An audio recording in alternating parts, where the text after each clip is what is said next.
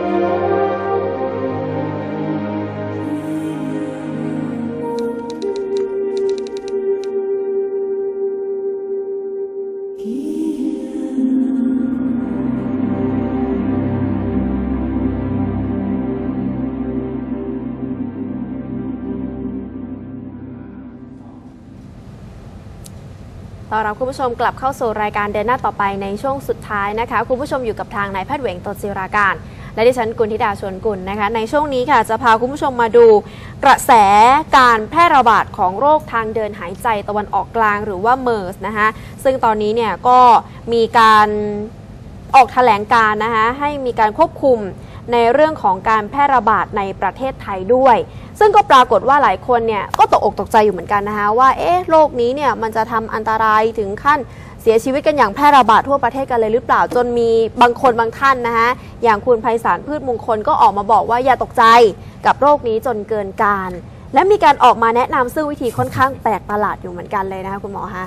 อย่างนี้ครับท่านผู้ชมครับคือถ้าหากว่าเราย้อนหลังไปประมาณสักสองสามพันปีเนี่ย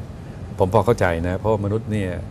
ยังไม่สามารถจะค้นพบเชื้อโรคได้อืมการค้นพบเชื้อโรคเนี่ยเพิ่งค้นพบมา ผมว่าไม่ถึงพันปีมั้งประมาณ 4 5 0 0 ปีที่ผ่านมานะครับโดยหลุยส์ปาสเตอร์เนี่ยเขาเป็นคนค้นพบคนแรก แล้วก็หลังจากที่โรเบิร์ตคอคเนี่ยเขาค้นพบกล้องจุลทรรศน์แล้วก็มาดูเจอเชื้อแบคทีเรีย แล้วก็สามารถพิสูจน์ได้ว่าเชื้อโรคเนี่ยเป็นรากเหง้าเป็นต้นตอของการเกิดโรคห ลังจากนั้นเป็นต้นมาเนี่ยการรักษาโรคจึงเป็นไปอย่างเป็นวิทยาศาสตร์ คือหายาฆ่าเชื้อโรค หาวิธีการป้องกัน อย่างเช่นมือเนี่ยก็พยายามที่จะเช็ดแอลกอฮอล์กว่าจะเจอว่าแอลกอฮอล์นี่ฆ่าเชื้อโรคได้ ก็ใช้เวลาเป็นร้อยปีเหมือนกันนะครับ แล้วกว่าจะเจอว่าสามารถที่จะใช้ผ้าคาดปากเพื่อป้องกันไม่ให้เชื้อโรคเนี่ยเข้าไปในจมูกเข้าไปในปากได้นะครับ ก็ใช้เวลาเป็นร้อยปีเหมือนกัน แต่ว่ามาถึงวันนี้นะครับรากเง้าทางวิทยาศาสตร์ รากฐานทางวิทยาศาสตร์ของมนุษย์เนี่ยไปไกลมากแล้วนะครับ เพราะฉะนั้นเนี่ยนะการ ประพฤติปฏิบัติในอดีตเดี๋ยวนี้เขายกเลิกไปหมดแล้วไม่งั้นเนี่ยถ้าคุณยังเชื่อในอดีตอยู่เนี่ยนะครับเขาเชื่อขออนุญาตนะฮะเขาเชื่อว่าผีเข้าเขาเชื่อเชื่อว่าผีเข้านะท่านผู้ชมครับ คือชาวบ้านเขาเชื่อเชื่อว่าผีเข้า เพราะฉะนั้นในวิธีการในการที่รักษาโรคก็คือว่าเอาคนที่มีความสามารถทางคาถาอาคม มาไล่มนต์นะนะครับ แล้วก็เป่าน้ำมนต์แล้วก็มัดแล้วก็เคี่ยนตีนะฮะเพื่อไล่ผีปอบออกเดี๋ยวนี้บางหมู่บ้านที่ไกล ๆก็ยังมีนะฮะเคี่ยนบางที คนไข้เนี่ยตายคาหวายเลยนะครับ เขาบอกว่าผีปอบตัวนี้มันดุมาก มันเฮี้ยนมาก มันดื้อมาก มันก็เลยไม่ออก ดังนั้นเนี่ยความคิดหรือความเชื่อที่เป็นไสยศาสตร์เนี่ยเลิกเถอะครับ เลิกเถอะครับ แล้วมาในวันนี้นี่นะครับต้องเรียนอย่างหนึ่ง ถึงแม้ท่านชมบางท่านที่ไม่ใช่เป็นแพทย์เนี่ยนะครับ ผมคิดว่าใช้หลักคิดสามัญธรรมดาเนี่ยท่านก็คิดออก คือร่างกายเราเนี่ยนะประกอบด้วยหลายหลายๆระบบ และร่างกายเราเนี่ยเก่งมาก ก็คือรับเอาสิ่งที่เป็นประโยชน์ไปใช้เป็นประโยชน์ต่อร่างกาย แต่สิ่งที่ไม่เป็นประโยชน์ก็จะขับออกมาค่ะเช่นสิ่งที่ไม่เป็นประโยชน์นี่ก็ขับออกมาทางลมหายใจ อาจจะเป็นค่ะคาร์บอนไดออกไซด์ไนโตรเจนไนโตรเจนไนโตรเจนนะฮะแล้วก็สิ่งอื่นๆ ที่มันไม่เป็นประโยชน์เนี่ยก็จะขับออกไปนะฮะเช่นเดียวกับเหงื่อเนี่ยสิ่งที่ไม่เป็นประโยชน์ก็ขับออกจากทางเหงื่อนะเช่นเดียวกับปัสสาวะครับ ดังนั้นปัสสาวะเนี่ยมันก็จะประกอบด้วย น้ำส่วนเกินที่ร่างกายต้องการขับออก แล้วก็สิ่งโสโครก อันเกิดขึ้นเนื่องจากการเผาผลาญเขาเรียกการสันดาบเขาเรียกเมตาบอลิซึมนะครับในการผลิตพลังงานในร่างกายเนี่ยนะครับในการสังเคราะห์อาหารในร่างกายเนี่ยนะครับ มันจะเกิดเขาเรียกว่าวัสดุที่ต้องการกำจัดทิ้งเกิดขึ้นในร่างกาย เพราะฉะนั้นเขาจึงมีไตขึ้นมา ธรรมชาติก็เลยสร้างไตขึ้นมา เพื่อกรองเอาสิ่งที่ต้องการขับออกจากร่างกายเนี่ยออกมาเป็นปัสสาวะ ดังนั้นต้องเรียนด้วยความเคารพนะฮะปัสสาวะคือสิ่งที่ร่างกายต้องการกำจัดทิ้งออกไปจากร่างกาย ดังนั้นเรียนด้วยความเคารพจริงๆนะฮะในทัศนะส่วนตัวผมนะฮะผมเห็นว่าปัสสาวะเนี่ยมีแต่น้ำกับสิ่งที่ร่างกายต้องการการกำจัดออกไปจากร่างกาย ดังนั้นทำไมจะต้องไปดื่มน้ำปัสสาวะด้วยครับ ผมไม่เข้าใจฮะคุณต้องอธิบายอย่างเป็นวิทยาศาสตร์สิครับว่าในปัสสาวะประกอบด้วยสารเคมีอะไรที่เป็นประโยชน์ต่อร่างกาย สำหรับผมผมยืนยันนะครับว่าปัสสาวะนี่ประกอบด้วยน้ำกับสิ่งโสโครกที่ร่างกายต้องการขับออกกำจัดออก เอ้าร่างกายต้องการกำจัดออกแล้วคุณเอาไปดื่มเข้ามาทำไมอะมันตลกคราวนี้บางคนเนี่ยผมก็พยายามไปไปไปถามดูสำนักพวกที่เป็นพันธมิตรนี่แหละเอาพูดเลยก็ได้สำนักพันธมิตรนี่แหละค่ะนะพยายามที่จะโฆษณาเรื่องการดื่มน้ำปัสสาวะอ่าแล้วบางคนเนี่ยนะไปอ้างอิงพระไตรปิฎกอ๋อ ผมต้องเรียนท่านผู้ชมด้วยคำครพนะฮะผมเนี่ยเป็นศิษย์อาจารย์พุทธทาสอาจารย์พุทธทาสท่านบอกเลยนะครับว่าพระไตรปิฎกส่วนที่ดีก็มีคุณแอนส่วนที่ดีก็มีนะฮะส่วนที่เป็นธรรมะแท้ๆก็มี แต่ส่วนที่เป็นมะเร็งเนื้อร้ายของปลอมของแต่งเติมเข้ามาก็มีครับ อาจารย์พุทธทาสพูดถึงขนาดที่ว่าเผาพระไตรปิฎกสัก 30%ฉีกทิ้งสัก 30%ก็ยังรักษาพุทธศาสนาเอาไว้ได้ และยังจะดีซะอีก เพราะมี 30%เนี่ยที่มันเป็นเนื้องอกเข้ามา เพราะฉะนั้นผมก็ไม่รู้เหมือนกันนะไอ้บรรดาพันธมิตร บางส่วนนะที่พยายามอธิบายบอกว่าน้ำปัสสาวะนี่แหละมันจะช่วยรักษาโรคเนี่ยอืมแล้วก็พอมีคนโต้แย้งหนักๆเข้านี่ก็เลยไปอ้างพุทธเจ้าเลย บอกว่าในสมัยพุทธกาลนี่มีการเขาเรียกกันนะดื่มน้ำมูดน้ำคูดเนี่ยนะคูดนี่เป็นอุจจาระนะฮะโอ้ไปกินคูดนะฮะถ้าคูดนี่นะฮะถ้ามันของดีต่อร่างกายร่างกายทำไมต้องขับมันออกมาฮะอืมขับมันออกมาเพราะมันเป็นของเสียแล้ว ต้องการที่กำจัดออกไปจากร่างกายอืม ไอ้นี่ไปอ้างเลยนะ ผมผมไม่เชื่อฮะผมไม่เชื่อว่าในพระไตรปิฎกจะเขียนอย่างนั้น ผมไม่เชื่อค่ะนะครับ ว่าจะต้องไปฉันมูดฉันคูดอะไรอย่างเงี้ยนะไปอ้างไปตูเอาสมเด็จพระสัมมาสัมพุทธเจ้าผมเอาของเออท่านอาจารย์พุทธทาสเป็นหลักค่ะแล้วผมเอ่อยืนยันว่าศาสนาพุทธนี่เป็นวิทยาศาสตร์ครับ เป็นวิทยาศาสตร์ คืออิทัปปัญญาตาเนี่ยเมื่อสิ่งนี้สิ่งนี้มีสิ่งนี้สิ่งนี้ย่อมมี เมื่อสิ่งนี้สิ่งนี้เกิด สิ่งนี้สิ่งนี้ย่อมเกิด เมื่อสิ่งนี้สิ่งนี้ไม่มีสิ่งนี้สิ่งนี้ย่อมไม่มี เมื่อสิ่งนี้สิ่งนี้ดับ สิ่งนี้สิ่งนี้ย่อมดับ ก็นี่ไงฮะปัสสาวะเนี่ยเกิดขึ้นเนื่องจากร่างกายดูดเอาของที่เป็นประโยชน์ทั้งหมดแล้ว จึงขับออกของเสียทั้งสิ้นออกมาเป็นปัสสาวะ ชัดเจนนี่เป็นอิทัปปัญญาตา แล้วเรื่องอะไรต้องไปดื่มอีกฮะ คูดก็เหมือนกันอุจจาระนี่นะครับ ก็คือหลังจากที่เรารับทานอาหารสารพัดทุกอย่าง รับทานเข้าไปเถอะครับ ผักก็ดีเนื้อก็ดี ปลาก็ดีนะฮะอาจจะเป็นทุเรียนก็ดีลำไยก็ดีลิ้นจี่ก็ดีรับทานเข้าไปเถอะครับ สารพัดรับทานเข้าไปเลย ร่างกายก็จะดูดเอาสิ่งที่เป็นประโยชน์เข้าไปในร่างกาย เสร็จแล้วของที่มันใช้ไม่ได้อีกต่อไป ร่างกายก็จะกำจัดออกมาเป็นอุจจาระดังนั้นอุจจาระก็ดีปัสสาวะก็ดีจึงเป็นของเสียที่ไม่เหมาะกับร่างกายมนุษย์อีกต่อไป ดังนั้นใครเนี่ยที่โฆษณาบอกว่าดื่มอุจจาระเอ้ยประทานโทษให้ดื่มปัสสาวะ หรือว่าอุจจาระมาประกอบอาหารนี่ผมว่าใช้ไม่ได้ฮะมันเป็นไสยศาสตร์ฮะอืมแล้วก็มาดูโรคซาร์สหรือมาดูโรคเมอร์สค่ะนะฮะ ปัจจุบันเขาพิสูจน์แล้วนะโรคเมอร์สเกิดจากไวรัส อืม ถ้าหากว่าเราสามารถที่จะทำได้ก็คือเอาวัคซีนมา วัคซีนก็คือเอาตัวไวรัส เอาตัวเชื้อโรคนี่แหละทำให้มันตาย หรือไม่ทำให้มันไม่มีพิษสงอย่างใดอย่างหนึ่งก็ได้นะ ตายก็ได้ หรือเป็นเป็นอยู่แต่ไม่มีพิษสงฉีดเข้าไปในร่างกาย เพื่อให้ร่างกายกระตุ้นภูมิคุ้มกัน ทั้งที่เป็นสารเคมีและทั้งที่เป็นเซลล์ นะทั้งที่เป็นเซลล์ที่วิ่งออกไปกินกินกิน หรือเป็นสารเคมีที่ส่งเข้าไปพ่นเข้าไปเพื่อฆ่า เชื้อโรคที่ตายหรือไม่เชื้อโรคที่ไม่มีพิษสงแล้ว ถ้าทำได้สำเร็จเนี่ยนะครับก็ฉีดเข้าไปนะกระตุ้นให้ร่างกายเนี่ยสร้างภูมิคุ้มกันขึ้นมา ซึ่งเป็นทั้งสารเคมีด้วยและเป็นทั้งเซลล์ด้วย อย่างนี้เนี่ยคือเป็นวิทยาศาสตร์นะครับแล้วขณะเดียวกันเนี่ยวิธีการป้องกันไม่ให้ไวรัสระบาด เพราะไวรัสเนี่ยปัจจุบัน นะฮะปัจจุบันผมก็ไม่แน่ใจว่าเมอร์สเนี่ยเขาสรุปแล้วหรือยัง แต่โดยทั่วไปเนี่ยมาจากการไอการจามการมือฮะมือนะครับเวลาคุณเอ่อมือคุณอาจจะไปเช็ดเหงื่ออาจจะไปเช็ดจมูกเช็ดปากอะไรโดยไม่รู้ตัวนะเสร็จแล้วคุณก็เอามือไปจับที่นู่นที่นี่แล้วเราก็ไปเอาเงินไปจับมาแล้วก็ตัวนี้นะมันกินข้าวแล้วโดยเฉพาะยิ่งคนไทยนี่ขออนุญาตด้วยความเคารพนะผมไม่ได้ดูแคลนนะเราบางทีเราก็กินข้าวเหนียวผมก็กินข้าวเหนียวผมก็ใช้มือเปล่านี่จ้ำกิน แต่ว่าก่อนที่จะทำอะไรนี่ล้างมือซะก่อน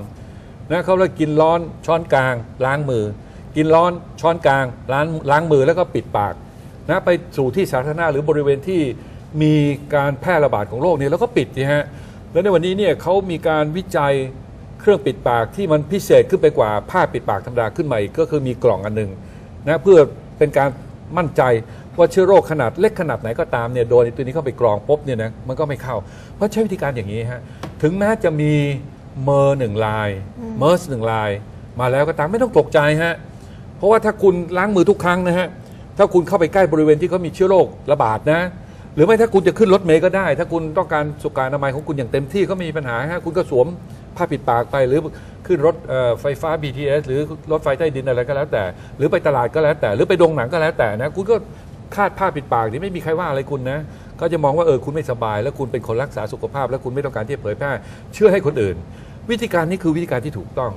แต่การไปแนะนำให้กินปัสสาวะนี่ผมรับไม่ได้จริงๆอืมแล้วดูเนี่ยมันมาจากพวกพันธมิตรนะฮะค่ะแล้วลองดูสิครับนี่ก็เป็นพันธมิตรใหญ่คนหนึ่งเป็นพันธมิตรใหญ่คนหนึ่งอะลองดูดิครับเขาแนะนำอย่างไร ค่ะอันนี้ก็คือนายไพศาลพืชมงคลนะนะคะบอกว่าอย่าตกใจไวรัสเมอร์หรือเมอร์สเนี่ยนะคะจนเกินการ เพราะว่า 1. ถ้าเป็นแล้วมีโอกาสตายแค่ 30%เอง มีโอกาสรอดกว่า 70% 2. พยายามอยู่ในที่แห้งและอากาศสม่ำเสมอ